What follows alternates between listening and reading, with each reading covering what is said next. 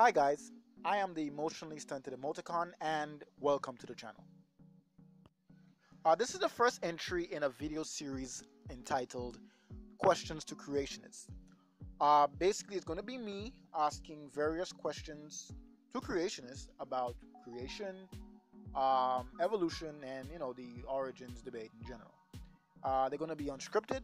Again, it's just me asking questions, and um, you know, seeing if anyone would actually answer those questions, you know, like either in video response or in the comment section.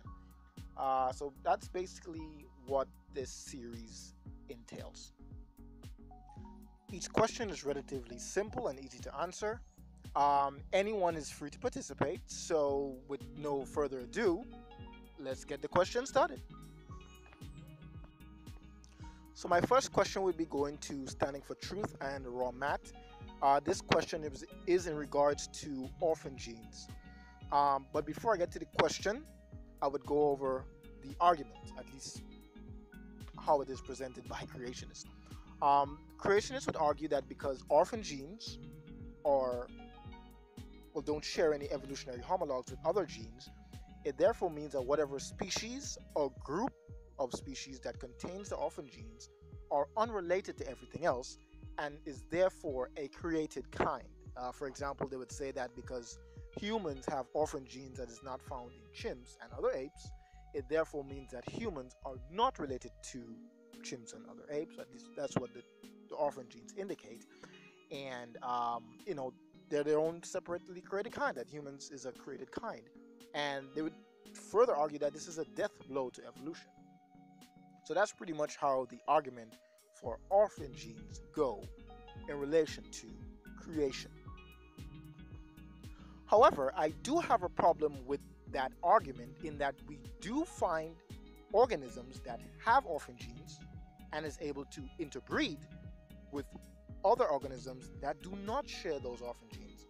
Uh, for example, Drosophila flies in the Obscura group um, there is a paper entitled The Life Cycle of Drosophila orphan genes. Well, the link would be in the description. And uh, that would show you the members of the of the species within the Drosophila obscura group. And which that shows that some species would have orphan genes that others don't have. However, these species can hybridize. You, you can, you know, cross them and the link would also be in the description where experiments were done crossing these species. So that's my problem with the argument that orphan genes indicate that organisms are unrelated when we clearly have organisms that don't share orphan genes that can bring forth. And according to creationists, if you are able to bring forth, then you should be the same kind. So I would just get on to the question now of the video. So my questions are, if orphan genes is an indication that species are not related or groups of organisms are not related, why do we find orphan genes in organisms that can interbreed with other organisms that do not share those orphan genes? For example, in Drosophila. And the second question would be if this is allowed in creationism, whereby even though orphan genes is an indication that organisms are not related, yet we have related organisms not sharing orphan genes, how is this now a problem for evolution? Right, so that's uh, basically the two questions I had in regards to orphan genes. Uh, I may have more in regards to how you answer the question. I, I can't predict what the answers would be, but those are my questions, and uh, anyone, again, feel free to answer. Um, thanks again for watching, and have a good day.